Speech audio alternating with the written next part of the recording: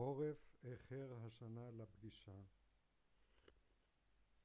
וכמו מתנצל על שעות שחיכתה לו, חיבקה, והמטיר דמעותיו על שערה.